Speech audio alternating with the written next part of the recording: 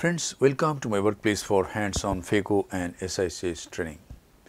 This is a cataract with grade 3 nuclear sclerosis. Let us observe this surgery. This is the main incision with a 2.8 millimeter steel keratome on the posterior aspect of the limbus. This is a triplanar incision. 2 percent hydroxypropyl methyl cellulose is used to fill up the anterior chamber. And now, a side port is made about 3 clock hours away on the left side. And now is the time to do capsulorhexis. I am going to do it with a Utrata forceps. The Utrata goes in, lifts off the anterior wall of the main wound. A capsular tag is raised in this way.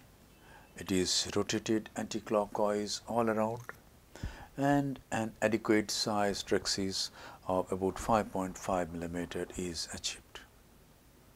This is a real time unedited surgery. Hydrodissection is done with BSS and 27 gauge cannula. As we see the fluid goes to the other side, the nucleus is stabbed, the fluid wave comes anteriorly along the equator, it means hydrodissection is done. The antechamber is again filled up with 2 percent HPMC and now is the time to introduce the phaco handpiece, the phaco needle in the anterior chamber.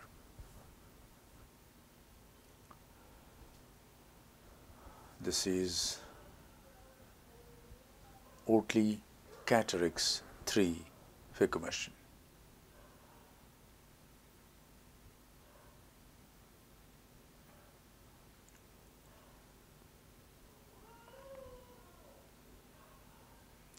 and this is removal of some superficial cortical lens matter and now see direct chop.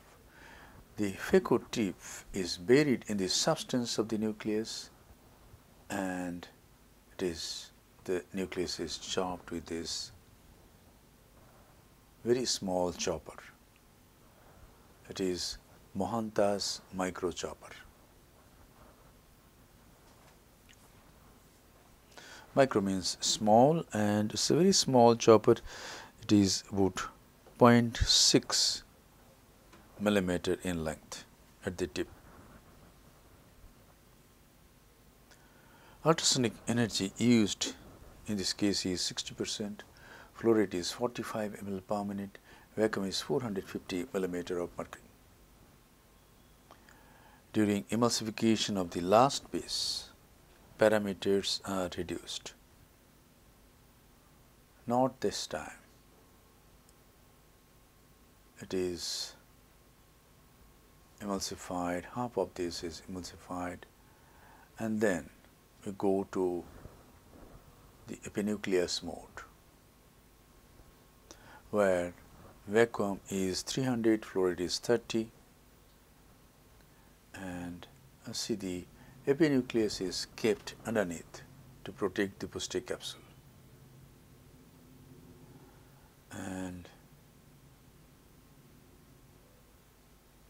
very gently the epinucleus is removed. We can see some nuclear bits near the side port. There is one side port there is one nuclear piece at the side port, it is quite big.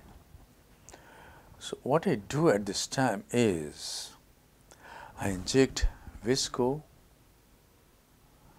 and enlarge the main wound little bit so that this nuclear piece can come out. Anyway, I am going to use a B cartridge for that the wound has to be increased little bit by 0.1 or 0.2 millimeter. And now this nuclear piece is scouted out.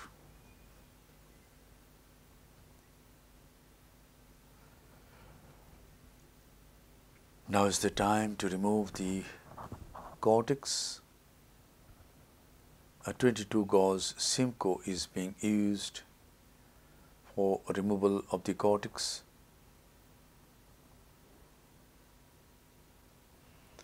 The subincisional cortex is removed going through the side port.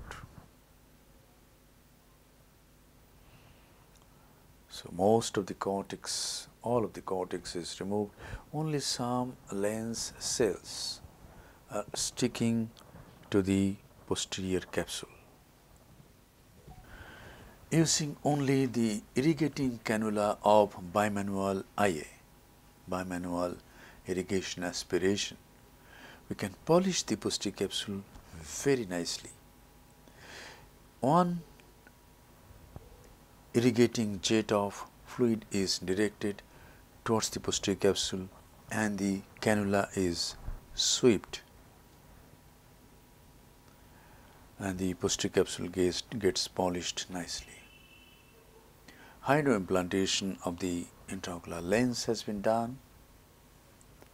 You can see on haptic, yes, it has got released. On haptic was stuck to the optic.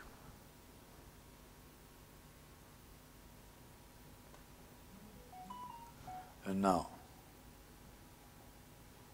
the side port is closed by hydrating corneal stroma. Finally, the anterior chamber lavage is done with basis.